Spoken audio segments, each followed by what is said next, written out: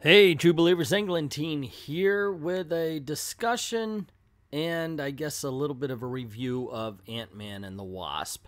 Point being, okay, we know the movie's coming out, so they want to push Ant Man and the Wasp, so they put out a couple of books. But you're going to see by the view count of this video that people don't give two shits about Ant Man and the Wasp. Not saying the movie ain't going to do good. I mean, it's a Marvel movie by all means. I'm sure it's going to just kick all sorts of ass. But how many comic book series have they tried with this guy and it just failed?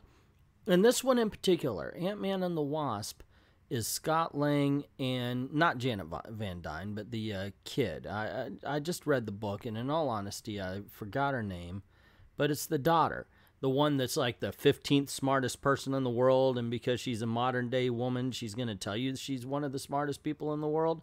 Yeah you have that going on.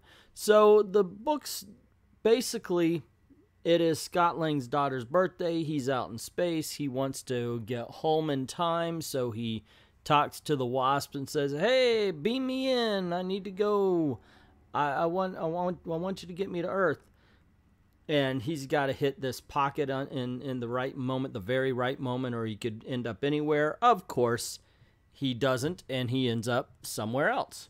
Just for expediency, we're going to call it Forgettable Planet Number One.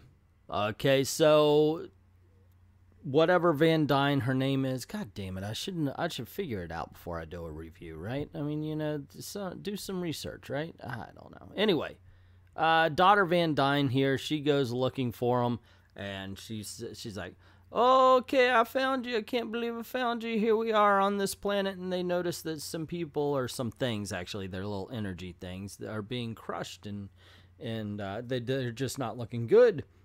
And they do a little exploration and find out there is something that seems to be absorbing these little energy things. And uh, Scott Lang's like, "Hey, we gotta help these little energy things." And Van Dyne daughter says, whoa, whoa, whoa, we have no idea what this is. This could actually be part of the ecology. This could part, you know, be part of the uh, the whole system. This is this is the way white life could just work here. We don't know. And then they say, ah, screw it, let's go attack it anyway. For a brief moment, I really like this book because that's so freaking smart. That's actually a smart thing for a smart person to say. You have no idea what's going on on the planet. Why are you going to jump in and start fighting things as if one is good and one is bad? You have no idea how life works here. Why mess it up? That was very smart. And then they ended it because, you know, comic books have to have a fight, I guess. And uh, anyway, it, it was like they, gra- they, they, they snatched defeat from the jaws of victory. You know, it was like almost a really good book, or almost a good book, not a really good book. You know, let's not go overboard here or anything like that. It was decent enough. It's entertaining enough. Now, granted, this is the annoying Wasp instead of Janet Van Dyne, the one we all know and love. This is the the one that had the whole series to tell us how smart she is and how smart everybody else is, including Mockingbird, who was never a genius until it was time to make every female in the Marvel Universe a genius. Oi, actually, every character now. And I think they've got them ranked. Like they, they for some reason tested everybody. And I'm the fifth, I'm the sixth, I'm the seventh smartest person. yeah. This adds uh, potential even to be an incredibly good looking book but what starts off as a clever design ends up just being blotches. You know, this could have been a really colorful and like almost Kirby esque kind of design, but instead it just gets lazy in the middle. I don't know. It, this is such a Frankenstein of a book, or a Jekyll and Hyde, I should say. Not Frankenstein, but Jekyll and Hyde. It's like good, bad, good, bad, good, bad, all the way through it. Uh, Scott Lang is not supposed to be a moron yet in order to make uh, uh, the the Pym daughter or Van Dyne daughter, whatever you want to call her, um, uh, uh look more like a genius. He's got to be dumber. So she, you know, and I, I don't ever like that kind of thing. You you can have a smart character and other characters who are not dumb. You don't have to make one look bad to make the other look good. It's not a huge problem here, but it is a problem. At least probably problem enough that I noticed it, but not problem enough to really derail the book. Like I said, this is an entertaining comic. This isn't a bad review. It's not going to I'm not going to trash this one. It's not there, but I'm just saying, you know, they they put out two books and you're going to realize in just a little bit why I have a problem with what they did here as I go into the next one. I'm not a big fan of this particular wasp, and I don't know too many people who are. This is the one that they put out the series, and, and generally it got panned for the bad writing. Oh my gosh, the writing was bad. Art wasn't bad, but the, the writing was horrendous. Anyway, Ant Man and the Wasp. What to think, what to say. Uh, fun, decent book flaws, glaring flaws, but nothing that really derails the entertainment. Is it worth the price of admission? Nope. No, if you can catch this in a little bit in somebody's bargain bin or a free pack or a, a dollar bin or whatever you get there, get it. But at full cover price, I would say caution, man. I'd either walk away or be very careful. And then we have Ant Man and the Wasp living legends. All right, now we're going to get down to business. Now we're going to get a story starring Janet Van Dyne and Hank Pym.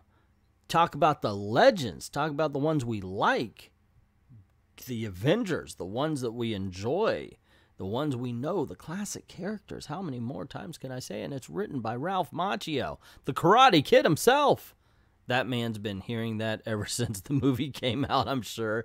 That's like, oh God, why? Why did that movie come out? I'm pretty sure that that, that has to be on his mind sometimes. Because, you know, I mean, come on. You would think, right? Anywho, uh, no, it's not that that Ralph Macchio. So, and it's also not Hank Pym.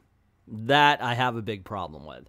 Because they go out of their way to say it a few times that oh no i'm not that one. I'm not that ant-man. I'm the other ant-man. I'm scott lang. So you don't really get the ant-man and the in janet van dyne living legends. You get uh, or, or wasp. You get scott lang in both books which i thought come on. Come on. You literally have a chance to do the originals and you have a chance to do the legacy characters.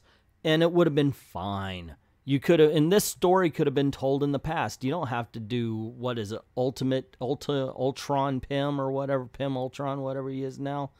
Yeah, Marvel, what the freaking hell are you guys thinking?